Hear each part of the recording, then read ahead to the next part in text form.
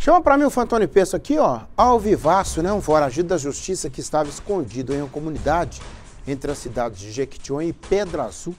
Ele foi preso pela Polícia Civil.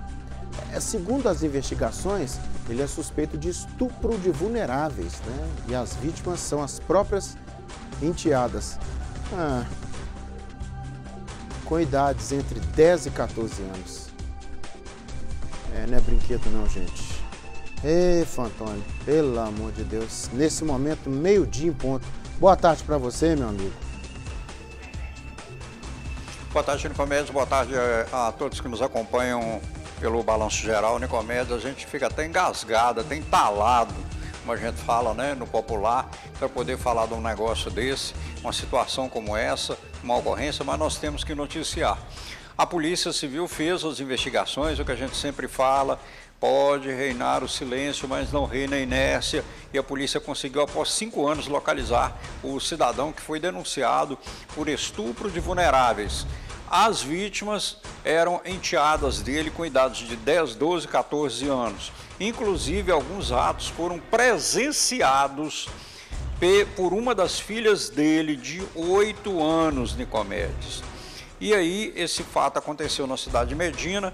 A mulher, ao descobrir, a mãe, a tutora, ao descobrir os crimes, ela saiu de casa, procurou um local seguro, então ela tomou a, a, a, medida mais rápida para salvaguardar as filhas e também as enteadas. O detalhe é que esse cidadão conviveu com essas menores por cerca de 10 anos. E aí, ao perceber que ele tinha esse comportamento distorcido, esse comportamento irregular, a mulher pegou as crianças, saiu de casa, mas o cidadão fugiu. Só que ele foi encontrado agora pela polícia, já está recolhido à unidade prisional, onde vai passar por uma avaliação e também saber qual vai ser a punição imposta a ele e, evidentemente, essas vítimas de comédias vão receber o apoio da equipe de especialistas, tanto do Estado quanto também das prefeituras, da Prefeitura, para poder recuperar desse trauma.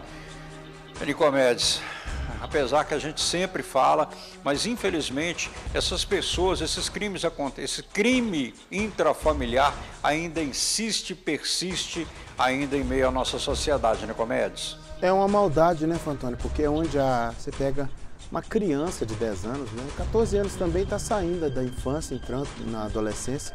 Você pega aí duas crianças, né, que deveriam ser protegidas né, no contexto do lar, dentro de casa, né?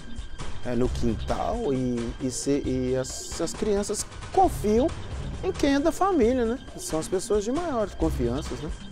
É, e e são as pessoas que cometem esse crime contra as crianças. Né? Agora, Fantoni, a depender aí da data desse crime, assim como entender a autoridade policial, é bom que se diga que está tendo aí algumas mudanças, né?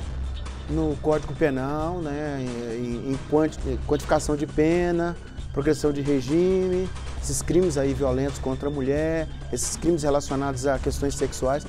É bom que se diga, né? Dependendo da data aí, já vai entrar, como diz você, as iras da nova legislação penal, né, que está sendo aqui atualizada no nosso país, né? É, vamos aguardar isso aí. Obrigado, viu, Fantoni, por sua informação. Depois você volta aqui no Balanço Geral.